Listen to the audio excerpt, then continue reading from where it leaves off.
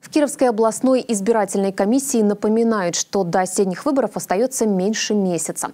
10 и 11 сентября кировчанам предстоит выбрать депутатов Кировской городской думы. Все партии уже определились со списками тех, чьи имена будут в бюллетенях. Всего кресла в Кировской городской думе займут 36 депутатов. Одновременно с этим состоятся и выборы губернатора Кировской области. Кировчанам предстоит выбрать главу региона из пяти кандидатов. Это Сергей Мамаев от КПРФ, Юрий Моисеев, Моисеев от партии «Коммунисты России», Федор Лугинин от партии «Родина», Владимир Панарьев от ЛДПР и Александр Соколов от «Единой России». При этом кандидаты начали активно использовать деньги со своих счетов для информационной и печатной продукции в агитационной кампании. Она официально стартовала.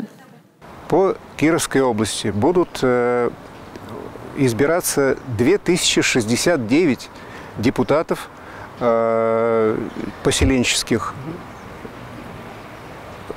дум будут э, избираться 29 глав сельских администраций и будут проведены 60 референдумов по э, самообложению граждан.